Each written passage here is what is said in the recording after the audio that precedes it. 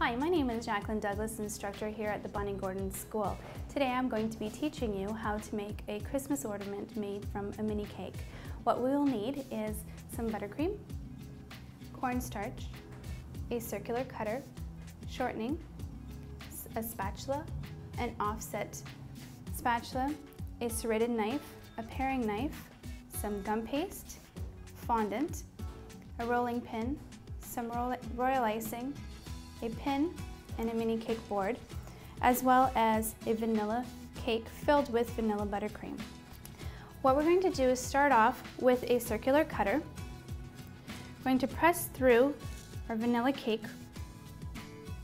Now the vanilla cake has been previously frozen, so it's actually quite firm. You want it to be frozen so that the cake holds together while you do this motion. Going to release your cake.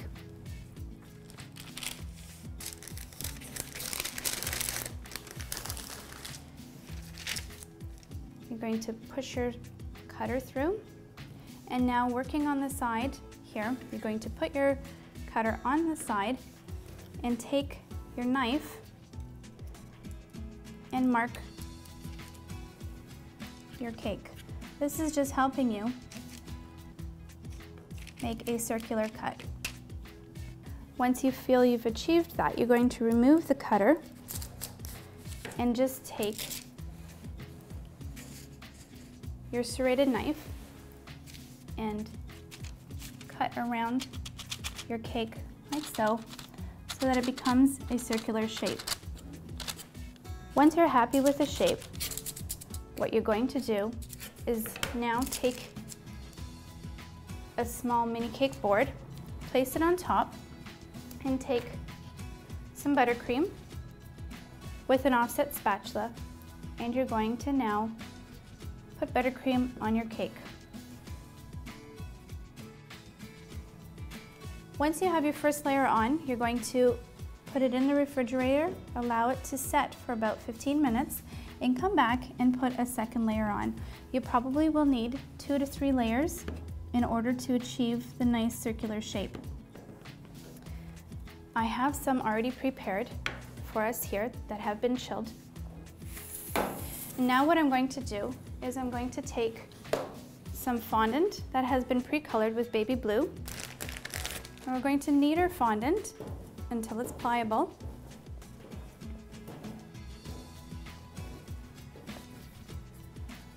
Take a little bit of our cornstarch Put the cornstarch onto a surface.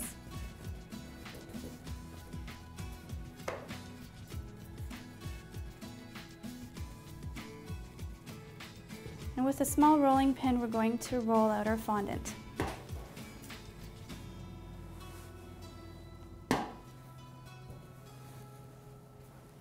If you have any little air bubbles, you're going to lift up your fondant, just poke out the air from underneath. This will help prevent any little pokes, pinpricks on the top of your fondant. Going to lift up your fondant, bring it over to your mini cake, attach it, lay it on top of your fondant, and working with your hands, you're going to just massage your fondant down your mini cake. Being very cautious not to use your finger pads, your fingertips, or you will get your nail marks in the fondant. Once that is all the way down, you're going to take your palette knife and just cut very close to the bottom of your mini cake. And then you're going to spend the time and get nice and close to the bottom here.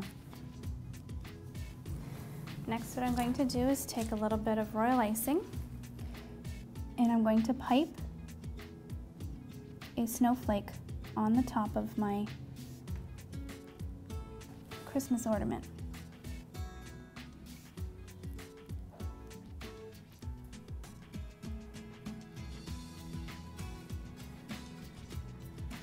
Okay. Now I have some gum paste here that I have three rolled into a square. I'm going to just pick it up and fold it up like a little tissue. I'm going to let it sit on its side for about 10 to 15 minutes so that it starts to solidify. And I'm going to take a box that has a nice uh, window in it. This, these boxes are available from any uh, big box stores. And we're going to take our tissue and start to place it in our box around the ornament so that it looks nice and cozy. Place it into our box like so. And there you have it, completed sugar ornament mini cakes.